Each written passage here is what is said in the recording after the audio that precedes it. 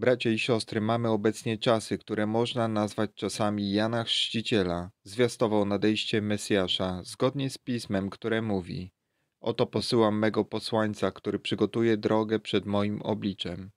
Tak dziś jest wielu Bożych posłańców, którzy nawołują do pokuty, ponieważ nadchodzi dzień powtórnego przyjścia Jezusa Chrystusa, a dzieje się tak, aby wypełniło się jedno z proroctw, które mówi: A ta Ewangelia będzie głoszona po całej ziemi. Zatem każdy otrzymał swoją szansę na zbawienie. Macie uszy i słyszycie, i nikt nie może powiedzieć: Nie wiedziałem. Nie oszukujmy się, wielu mówi, że wierzy, ale ich moralność jest ze świata. Żyją w grzechu, każdego dnia mówią: Zmienię się, ale zmiana nie następuje. Czy nie rozumiecie, że w ten sposób macie udział z grzesznikami? Jak chcecie wejść do Królestwa Bożego? Jeśli grzeszysz, to nie ma w tobie wiary. Oszukujesz samego siebie. Nie ma w tobie Bożego Ducha. Jan w liście pisze jasno i wyraźnie. Każdy, kto narodził się z Boga, nie grzeszy. Taki nie może grzeszyć, bo się narodził z Boga. Zadam wam teraz pytanie: z jakiego jesteście potomstwa? Diabła czy Boga? Jeśli od diabła, to w porządku, hulaj duszo, piekła nie ma, a jeśli od ojca, to nie możesz żyć w grzechu.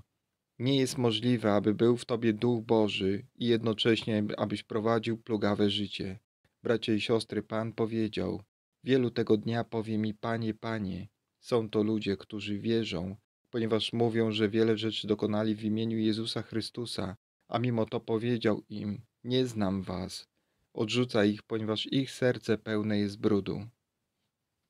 Przejawem działania Ducha Świętego jest całkowita zmiana. Naszym pragnieniem staje się czytanie Słowa Bożego, a naszym szczęściem jest bycie blisko Boga. To jest proces. Nasz kochany Ojciec kształtuje nas, uderza w nas i czasem jest to bolesne, bo jak sam mówi, każdego, którego kocham, karcę i ćwiczę.